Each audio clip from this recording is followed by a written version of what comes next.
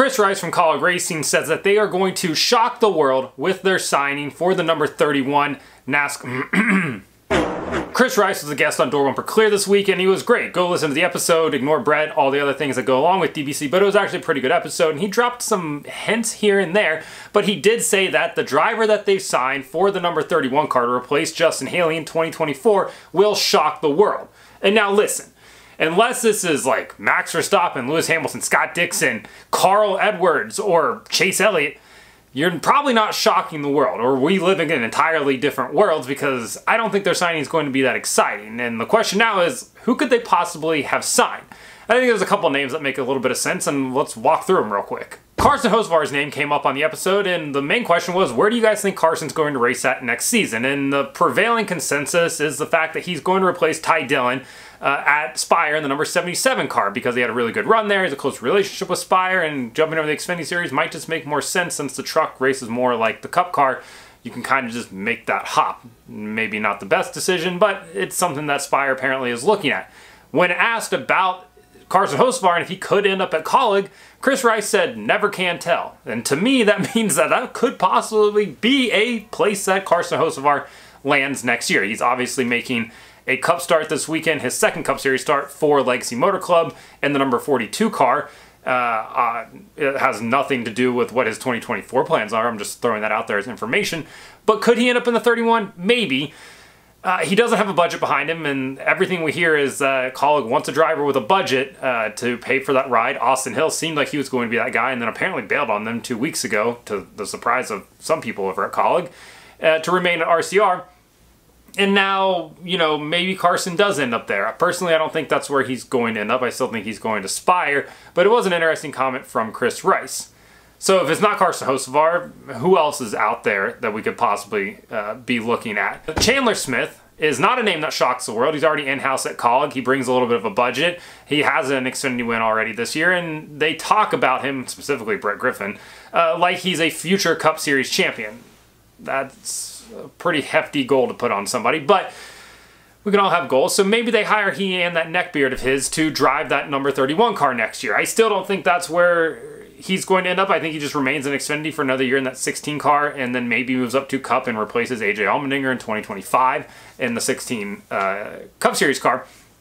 But he is a name that's out there. His parents do tend to like to put him into uh, rides, so maybe, maybe that's a place that they can go. Another name that I hear getting floated around a lot is Noah Gragson. I've had two people now slide into my DMs and say that he's had contact with Kaulig.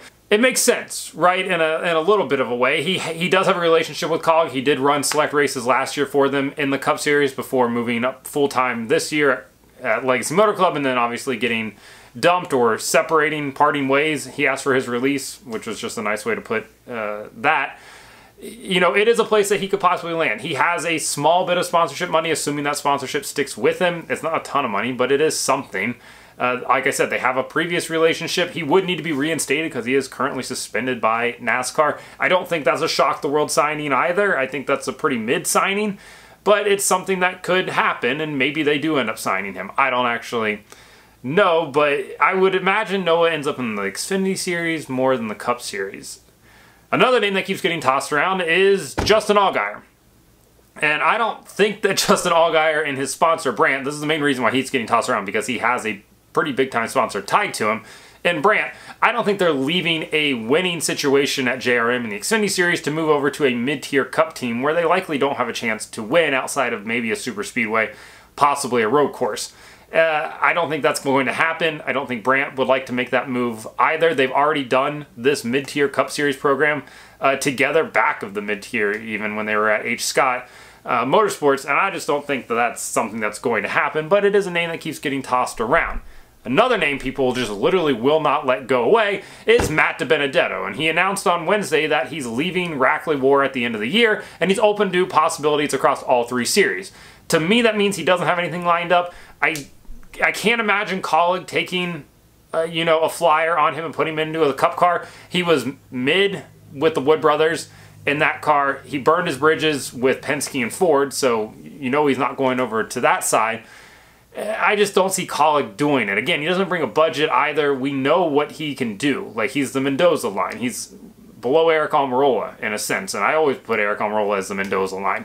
So I don't think Matt D is going to that car. It's a name that keeps getting tossed around. If that's the shock the world announcement that they're bringing Matt D in, buddy, we like I said, we live in different worlds.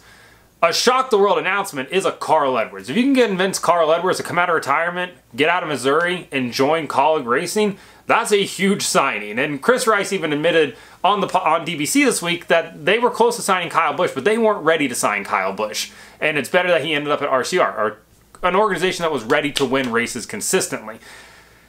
Carl going to Kaulig just doesn't make any sense whatsoever. It's a shock the world signing for sure. I would, I, we would all be absolutely floored. Outside of that, there's nobody else that I can really think of that would, quote, shock the world. Aric Almirola, he's probably leaving Stewart-Haas Racing. Maybe he takes his Smithfield money over there. Again, not really that shocking to just put another mid-driver into your car.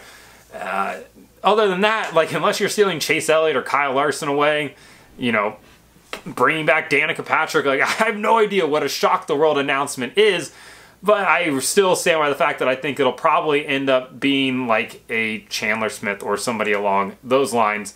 Imagine just bringing Grant Enfinger up. Like we know GMS is closing, so that could possibly be uh, in play there. But yeah, Kaulig says that they're going to shock the world. I don't know who that is. Shane Van Gisbergen possibly. Uh, but we know that he's close to signing that development deal with Trackhouse, which hasn't actually been signed yet. So there is a possibility that maybe this is in play. Who who actually knows, right? But yeah, the Kaulig 31 car and the mystery around it continues to go on.